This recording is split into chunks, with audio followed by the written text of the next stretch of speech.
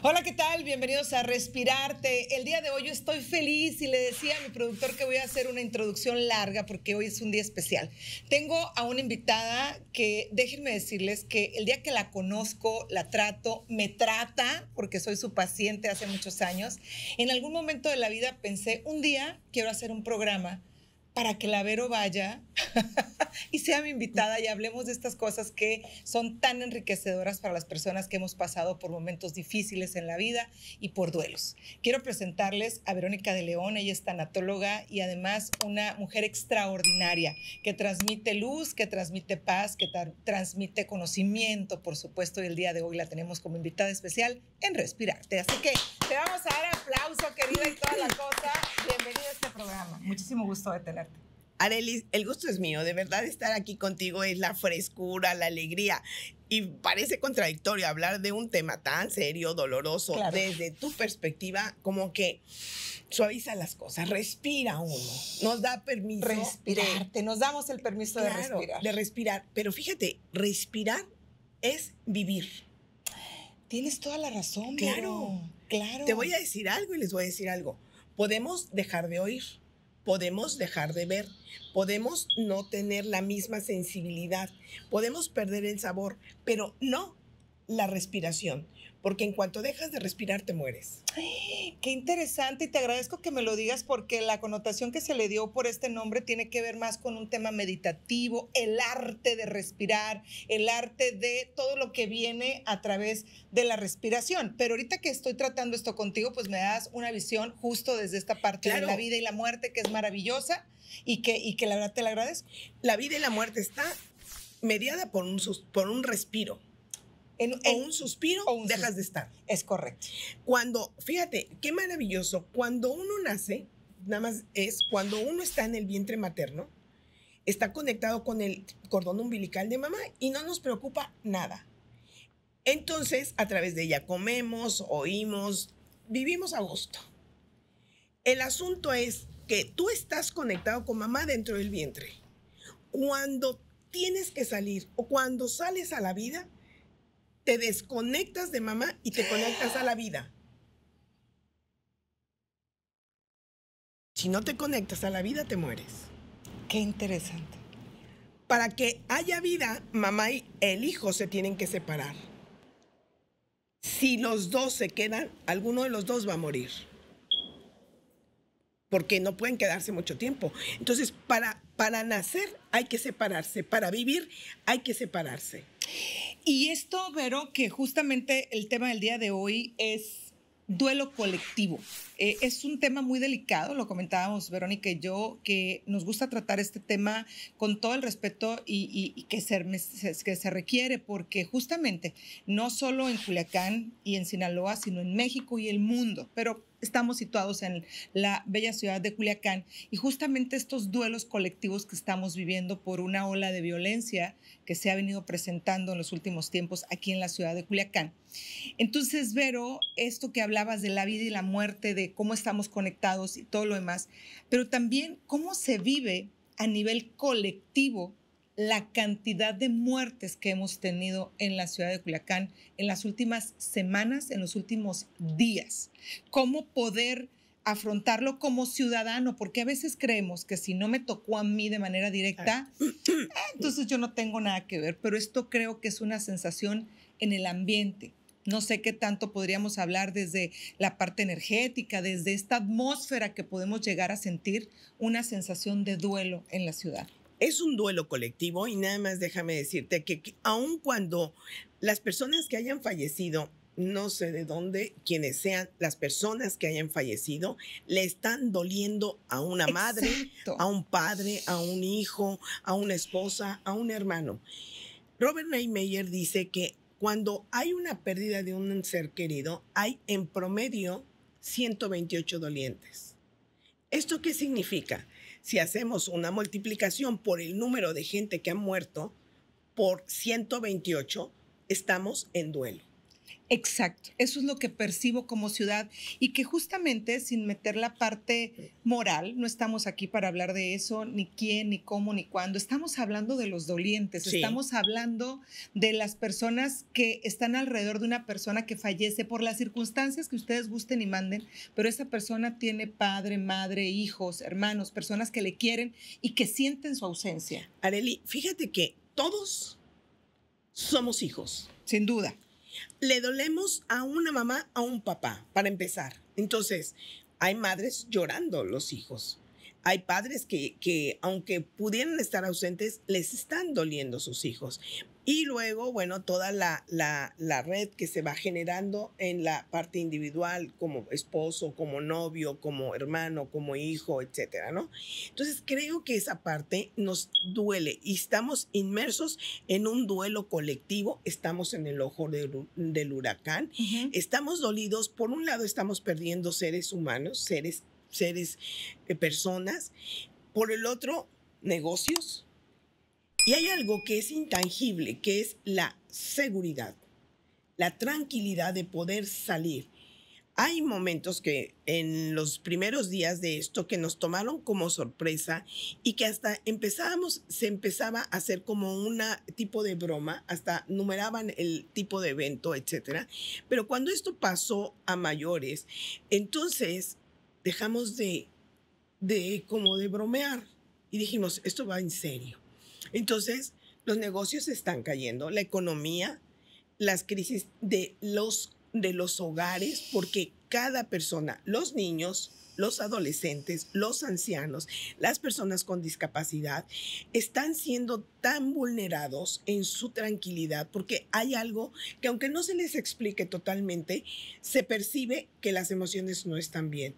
Entonces, la realidad de la salud mental está en crisis. Las personas tienen ataques de pánico, tienen mucho miedo, tienen pavor a salir, entonces los está rebasando. Hay ataques de ansiedad, hay compulsiones, insomnios, llantos repentinos, eh, frustración, enojo, porque la vida se paró. ¿Qué nos sostiene? ¿Qué nos sostiene, Areli? Creo que somos un pueblo resiliente porque esto es una guerra de, de baja intensidad, donde sin estar en guerra todos los días hay muertos. Y esto es una guerra de oyes y dices, no puede ser. Entonces creo que tenemos que empezar a revisar qué hemos dejado de hacer en nuestras casas. La ley de la corresponsabilidad dice que lo, así como es en el interior, es en el exterior. Y si afuera algo está mal, es porque dentro dejamos de hacer muchas cosas. Y hay una parte, Areli, que me gusta decirlo. Cuando no pones límites o cuando los límites son demasiado laxos, te conviertes en cómplice. Y a mí me encanta que lo digas porque fíjate que no quiero yo defender aquí absolutamente a nadie ni culpar absolutamente a nadie. Sin, embargo, me percato que a veces como ciudadanos siempre estamos depositando la responsabilidad en otros, en otros, en otros y alguien más siempre tiene la culpa. Y entiendo que una situación como esta evidentemente nos rebasa, pero este análisis que tú nos sugieres me parece muy oportuno. ¿Qué puedo hacer yo como ciudadana y qué he dejado de hacer yo como ciudadana? ¿Cómo he participado? Porque hay toda una cultura alrededor de todo esto y que en algunos momentos cuando hayan una aparente calma o esta famosa calma chicha, o sea, todo, parece, todo parece estar normal, no pasa nada y podemos ser cómplices, como bien mencionas, desde la parte cultural, desde la parte, sin, sin ahondar en eso. Pero bueno, lo cierto es que ahí está, está sucediendo, lo estamos sintiendo como ciudadanos, este temor, este miedo y este duelo que justo ahí es donde tú eres experta.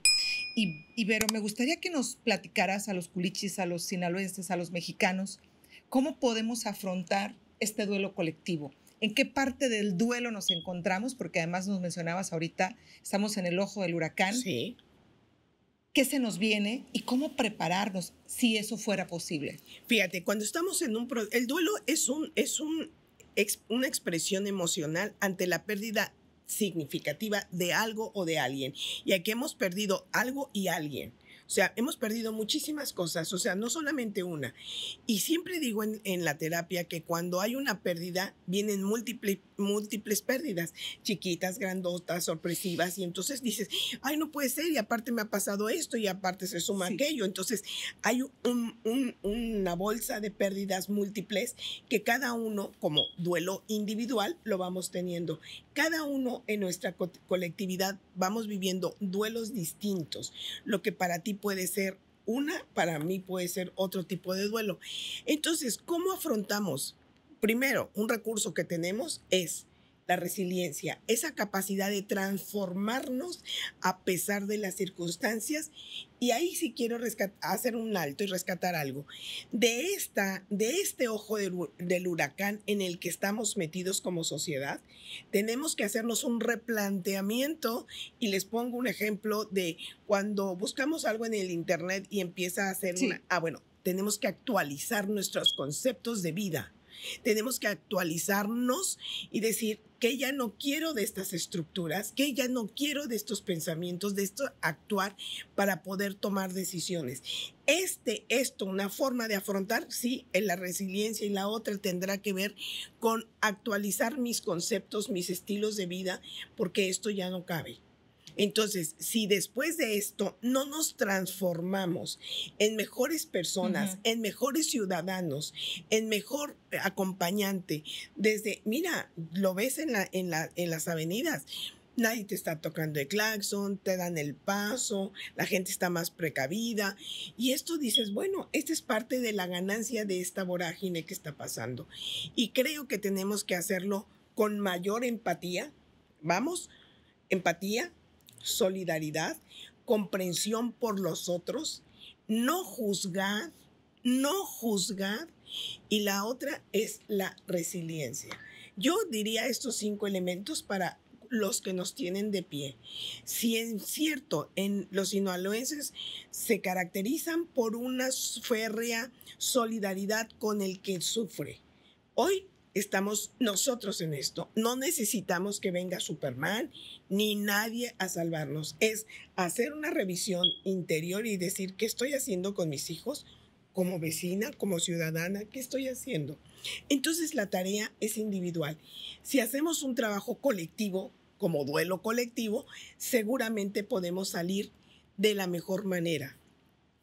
Ante una pérdida, ya no somos los mismos hay una epifanía, es una revelación de tu ser, que tú dices, ¿cómo pude vivir tanto tiempo? ¿Cómo le hice?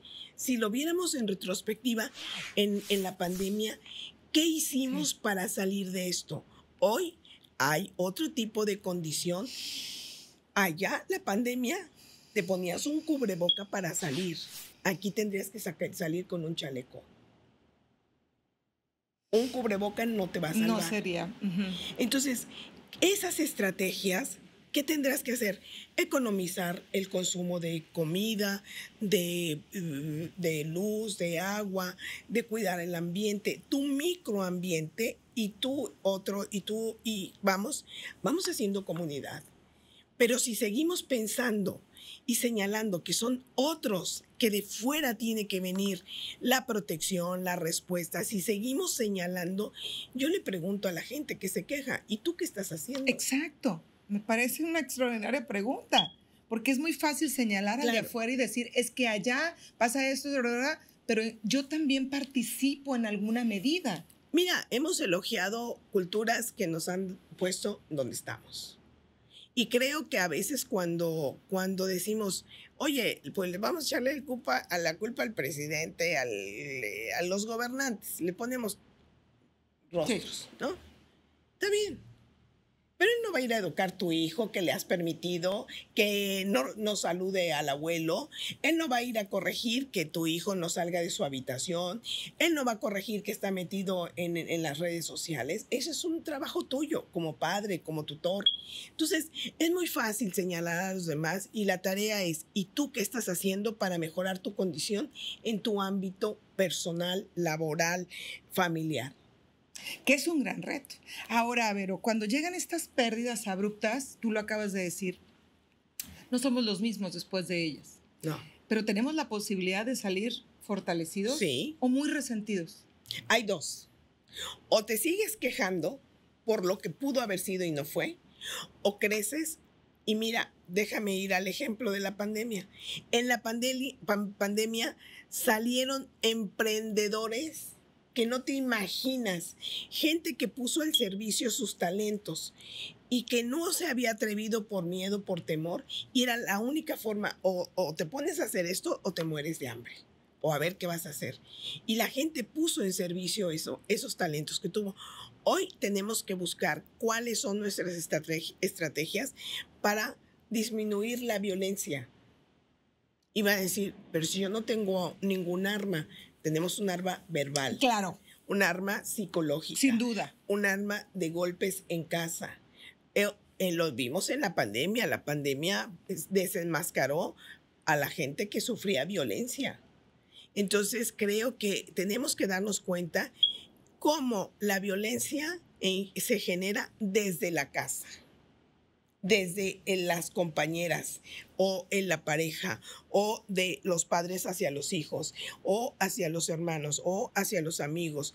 Y ahí nos vamos en la cadena. Claro, pues claro, cuando llega a máximos eh, extremos de, de violencia, pero empezó por un desacuerdo que no logramos negociar a tiempo. Y esa es otra. Consideramos que el de enfrente es el que está siendo violento allá. O sea, el que de plano se llega a los golpes es el que es violento, pero no la mamá, y digo, lo pondré en un término personal, pero no la mamá que agrede verbalmente a su hijo. No o que castiga con el silencio. O que castiga con el silencio. Sabes que, que, que justamente, y, y, hablaré un poco de, de, la vida personal, es casi inevitable para mí siempre hacerlo, pero justamente uno de los duelos que estamos viviendo en casa es esta pérdida de la libertad y eh, pérdida de poder ir y venir con tranquilidad y libertad. Tengo un adolescente en casa, entonces entenderás que las cosas han cambiado considerablemente.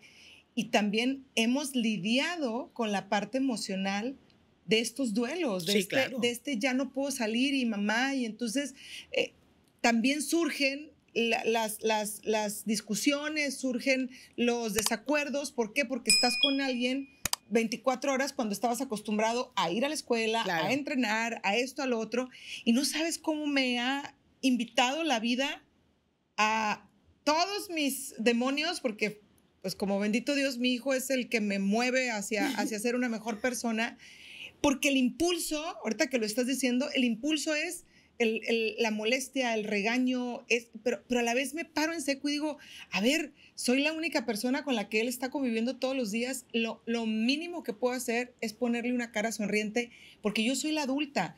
Cuando nos comportamos como adultos, como padres, nuestros hijos tienen más posibilidades. No es fácil, ¿eh? No es fácil, pero te voy a decir algo. Yo creo que una, una, un remedio para casi todo es en particular con los hijos, negociar. Antes de censurarlo es negociar. Y fíjate cómo parece contradictorio cuando yo, fíjense que yo no atiendo mucho jóvenes, pero me han llegado, eh, tuve la fortuna de atender a una joven talentosísima, una jovencita 13 años más o menos, y muy talentosa, muy brillante, muy lista. Y entonces ella le recomendó a otro y así han llegado, ¿no? Yo en general, ¿no? Entonces, pero puedes hablar muy rico con los adolescentes, es padrísimo, padre, ¿no?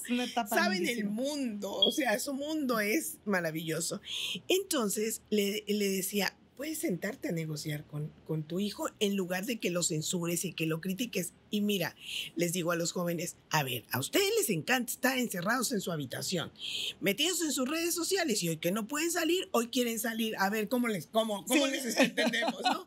Hoy si quieren salir, hoy si quieren esto. Y, y, y realmente es cierto cuando se la pasan encerrados en su habitación. Ahorita están angustiadísimos por no poder salir, claro. Claro, pero es parte de su naturaleza, porque están coartando la libertad de salir, de compartir. Y el, ahí te va, el, la no exposición al sol también te deprime. Claro, ahora para quienes tenemos jóvenes en casa, pues ese es el temor, ¿no? Sí, claro. Eh, eh, la ansiedad, la depresión, todos estos trastornos que se vienen de un encierro.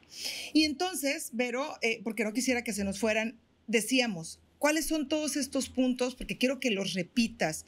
A la hora de vivir un duelo, lo estamos haciendo de manera colectiva, pero ya nos acabas de decir que la solución está en lo individual. En lo individual, porque cada uno vive un, duelo individual. Ok, entonces, estamos hablando de un duelo colectivo, Esto es un hecho, lo estamos viviendo, se palpa, se siente, se puede sentir, pero la solución está en lo individual. Hablarlo, por ejemplo, en el ámbito familiar, hablarlo, ¿qué te está pasando? Escucharlo, sin censura, sin, ay, ¿estás llorando por eso? Sin, sin enjuiciarlo. Darle permiso que se exprese. ¿Que tiene miedo? Pues sí, sí tiene miedo. Los papás también tienen miedo a salir. Sí. Y los, los hijos lo tienen que saber. ¿Para qué otra cosa? Llorarlo. Tienen que llorar. Evitar medicarlos si no hay una prescripción médica o si no están atendidos por un profesional especializado en estos jóvenes. No den medicamentos, no den cosas que no se, que porque le funcionó. no, no, cada persona es única. Y lo sobre todo que haya más interacción entre los hijos, los padres, los hermanos y poder negociar qué te está pasando, qué quieres. Bueno, ¿quieres salir? ¿Cuánto tiempo? ¿A qué hora vas a llegar? ¿Dónde vas a estar? Porque hoy las condiciones lo hacen. Mira, hablábamos hace unos días en una capacitación y decía, pero es que el, es que el ambiente está muy feo. Le dije, yo creo que sí, pero en cada época, y yo les decía, a ver, en nuestra época nos decían, van a venir los húngaros y a los niños los hacen jabón. Entonces pregúntame si queríamos salir. Y los robachicos, tienes y los todo, robachicos, Claro. Y había robachicos, y había el hombre que se llevaba a las niñas. Y entonces pregúntame si tú querías salir. era una forma, era terrorífico querer salir, porque, perdóname que te lo diga, tú veías a una persona con características no agradables y sentías que era él y tú tenías que correr. Claro, por supuesto. Hoy las condiciones son diferentes, pero el tema del terror y del miedo siempre están. ¿Qué vamos a hacer? Yo les diría a los papás, a las maestras, dejemos de hablar de esta noticia que cada vez que llegas, a ver, hablen de otra cosa. ¿Qué vas a hacer para estar bien? Yo estaba hoy sentada en una sala de espera y el discurso y, las, y los remedios para salir de esto, y yo nada más escuchaba y yo decía, no puede ser que, este, que, ese, que nos atrape este discurso de, de violencia, porque además saben calibres, saben... Detalles que no tendríamos que saber. Claro, claro que no. Entonces, entonces para poder afrontar el duelo, en esta parte donde hay una guerra de bajo impacto, hablemos de la paz. Mira. Hablemos del amor. Hagamos la contraparte. Hagamos la contraparte. Hagamos la contraparte. Ahora, si en esta contraparte hay ganas de llorar, lloremos. Ok. Ocúpate. Cuando oigo que alguien me dice es que no sé qué hacer, digo, a mí me faltan horas. A ti te faltan horas. Sí. ¿Por qué? Porque estamos en la parte de la búsqueda de nuevas estrategias para estar bien yo he pasado estos días en casa maravillosamente porque en mi estudio tengo tanto que hacer que me faltan horas para terminarlo. Entonces, creo que tenemos que empezar a leer, escuchar música bonita, asistir a los conciertos gratuitos, que estás sola en las salas, caminar afuera en tu patio si no quieres, salir al sol, llorar, hablar, salir un poquito compartir con tus amigos de otra manera, porque los jóvenes han estado muy encerrados, ahora hay que decirles que estén afuera. Entonces, cada uno, cada grupo de edad, los niños, los adolescentes, los adultos, los ancianos, están viviendo un duelo diferente. Claro. Y lo cierto es que vuelve a ser la parte es desde lo, desde lo individual, desde lo familiar y así sucesivamente hasta llegar a lo colectivo, pero empieza por nosotros, sí. como madres, como individuos, como hijos, pues desde, desde nosotros empezar con, este, con estas técnicas que nos ofreces. Vero, el tiempo se me ha ido como agua y lamentablemente yo quería hablar horas y horas y horas contigo, eh, cosa de una horita se nos va como nada a ti a mí. Ah, pero bueno, tenemos tema pendiente tema pendiente para que vengas de nueva cuenta porque hoy, hoy se habló de este tema, pero me quedo con esta última parte que nos dijiste. Hay que hablar de la paz, hay que hablar del amor, hagamos la contraparte, sabiendo que sí, que todo esto es un hecho, es real, lo estamos viviendo, nos duele y hay que vivirlo como Esto es. una realidad y hay que verla como tal.